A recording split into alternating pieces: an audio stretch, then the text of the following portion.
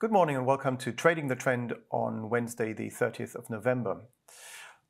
We had a long FTSE 100 trade on for several weeks now, and uh, we have now hit our target at 7,500. And as you can see here on the daily chart, we went long around this area here at 7,288 and have now cashed in our profits at 7,500 on the FTSE 100.